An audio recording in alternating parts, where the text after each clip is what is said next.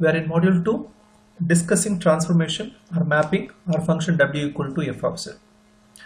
We know that a function w equal to f of z is a rule which associates each z taken from the domain to unique w in the codomain. Let us see a geometrical representation of this. We know that z is made up of two variables x and y, w is made up of another two variables u and v which means W is made up of four variables X, Y, U and V. To represent this function, we need four dimensional region. As a result, we can't put it on paper. So we are using two planes to represent the function W equal to f of z.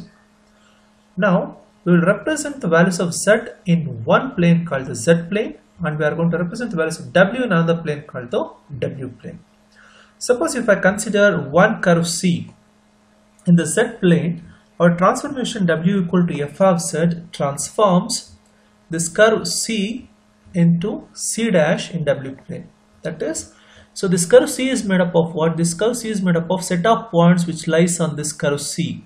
So consider each point z from this, put it here, find the corresponding value of w and just plot those points here.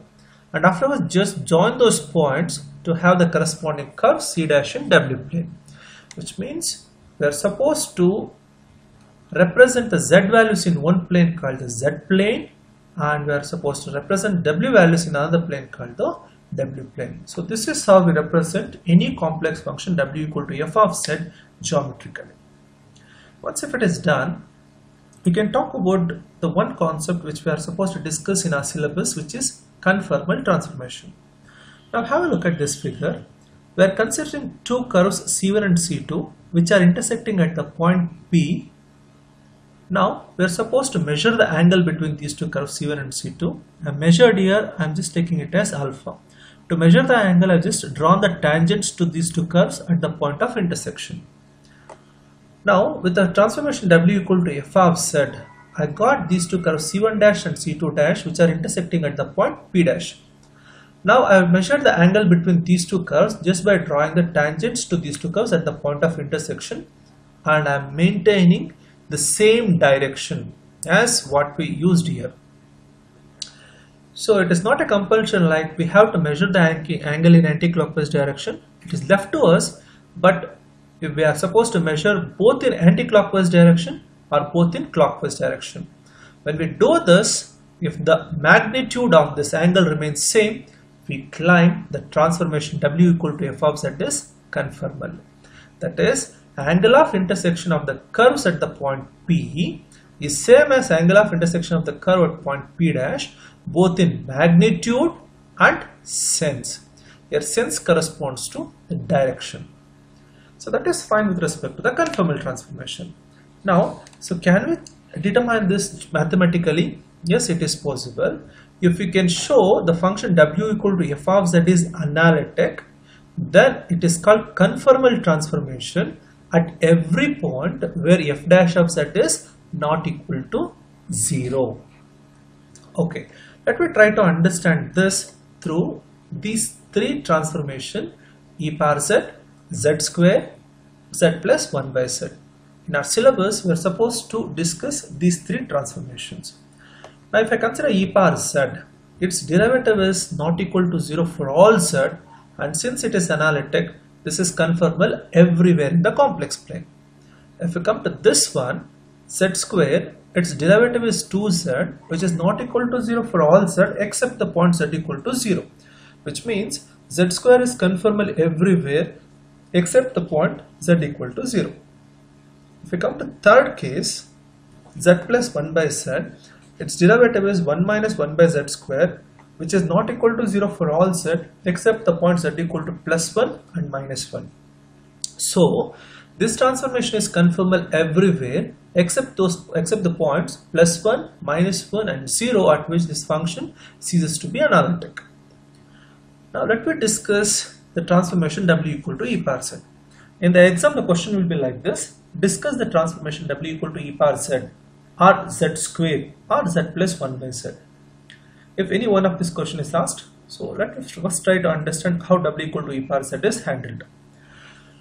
Now to discuss the transformation, begin with taking z and w values. Let me take z equal to x plus iy, w is u plus iv. But this for w equal to e power z becomes u plus iv equal to e power x plus iy. We know that e power iy is cos y plus i sin y. So real part is e power x cos y and imaginary part is e power x sin y. Now we are going to consider two simple curves in z plane just to understand how the transformation works.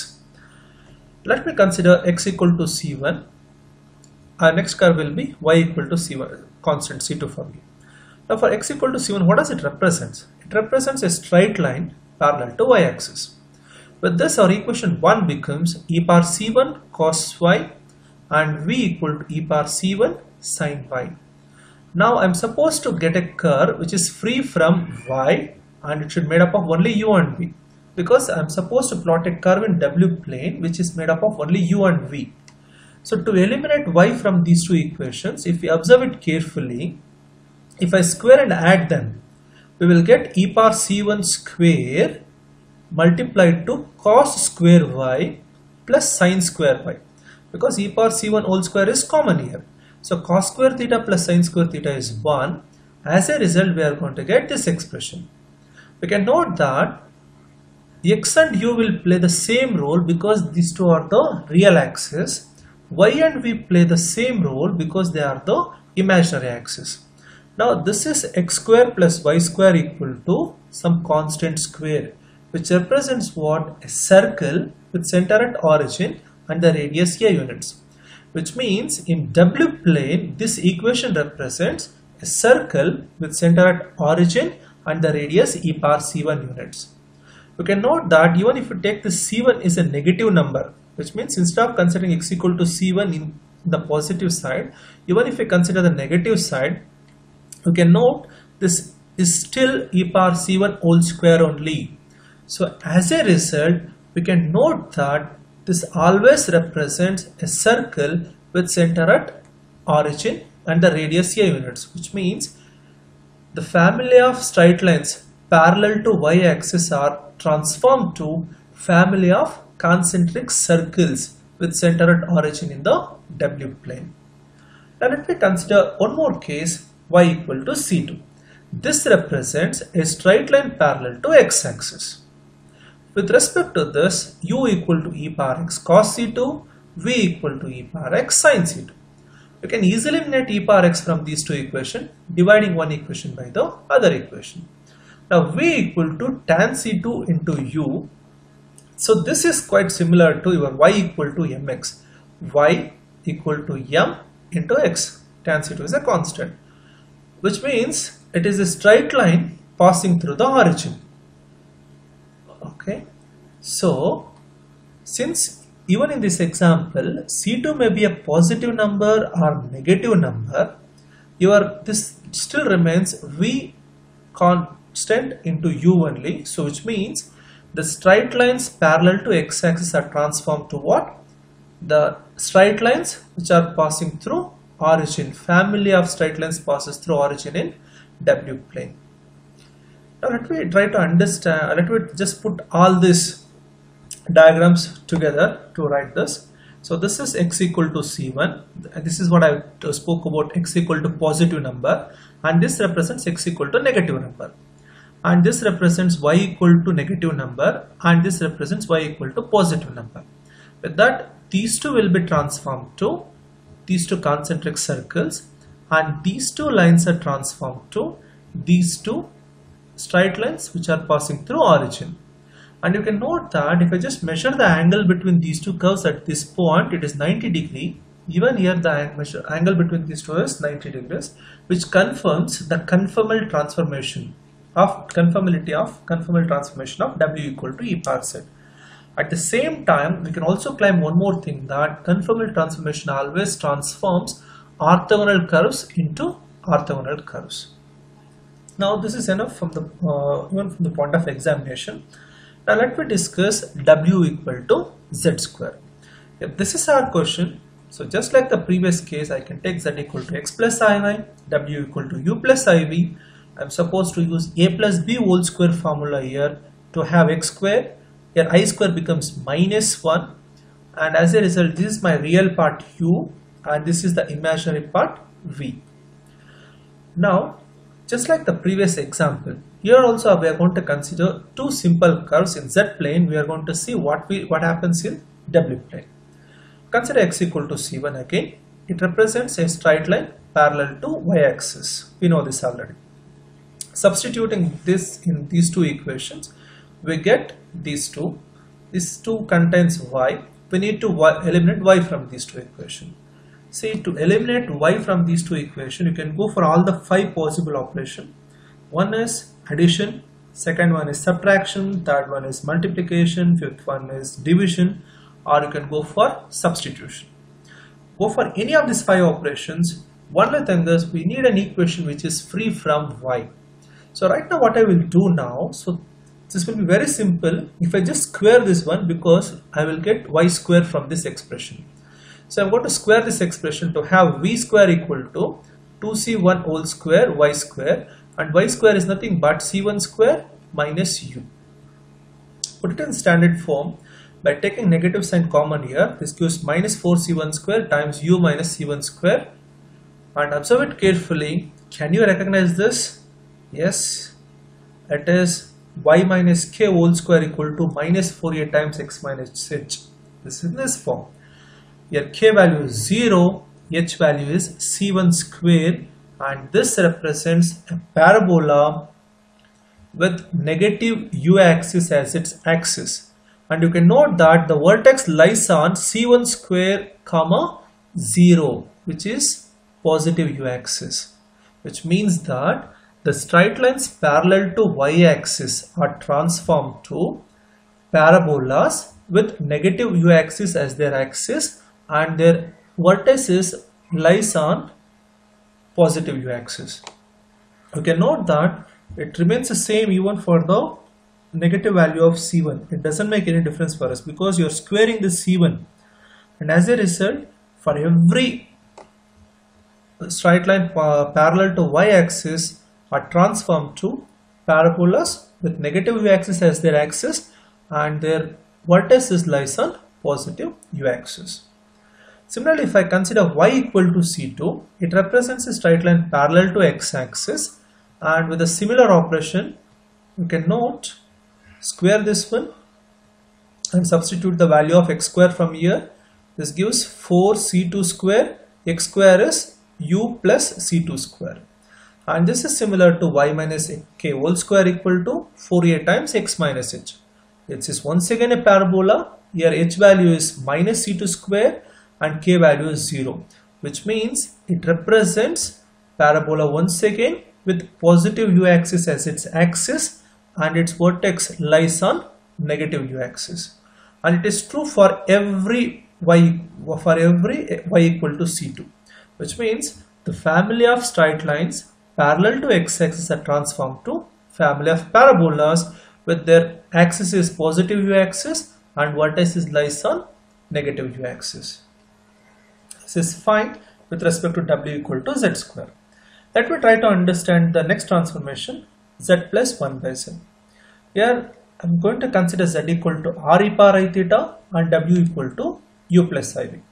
With this r e power i theta plus 1 by r e power i theta becomes r times cos theta plus i sin theta 1 by e power i theta is e power minus i theta which is cos theta minus i sin theta. So with this, this becomes r plus 1 by r, r cos theta plus 1 by r cos theta. This is i sin theta multiplied to r and here minus i sin theta multiplied to 1 by r. That gives i times r minus 1 by r sin theta. Now the real part is r plus 1 by r cos theta, imaginary part is r minus 1 by r sin theta. So just like the previous two cases, here also consider simple curve r equals to constant and theta equal to constant. r equal to constant represents a circle with center at origin and the radius c1 units. How? Let me try to understand this. Here you can note that I'm just fixing the value of r. Theta is not a constant here.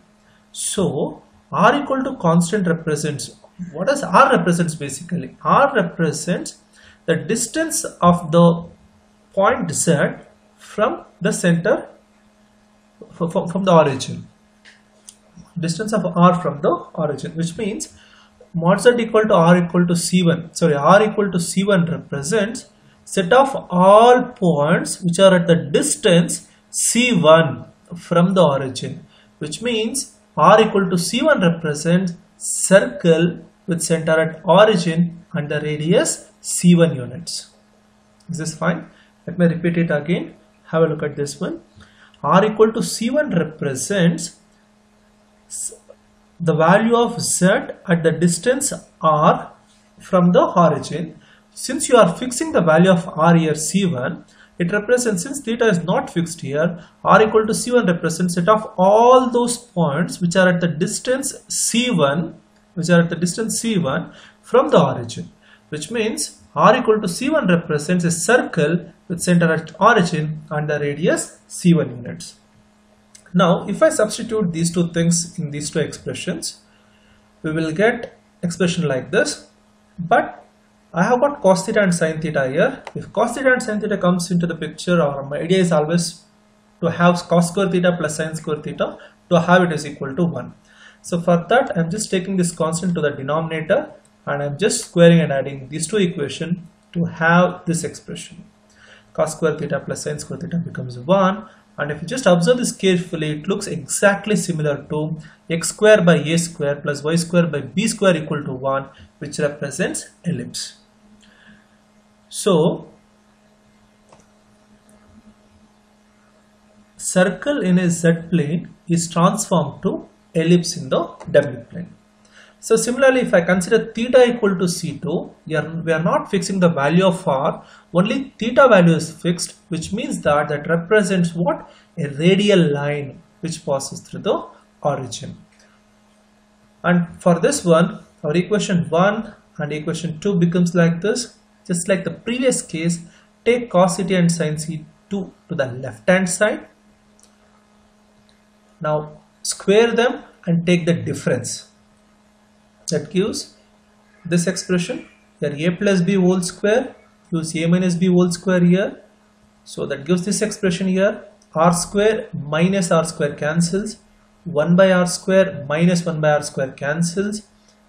2 r by 1 by r becomes 2 minus into minus plus r by 1 by r cancels. This is also 2 plus 2 plus 2 that becomes plus 4 take this 4 to the left hand side by cross multiplication.